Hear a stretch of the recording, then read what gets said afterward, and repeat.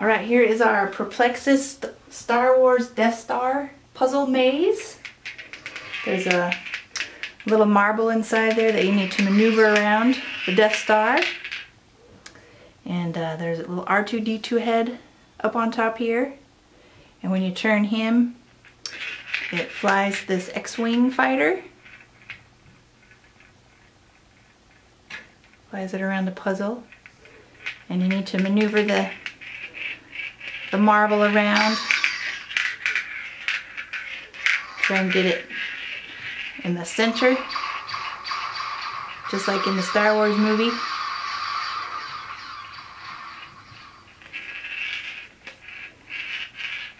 It's pretty, pretty uh, complex, so it takes some patience. But it has some pretty cool sound effects and lights.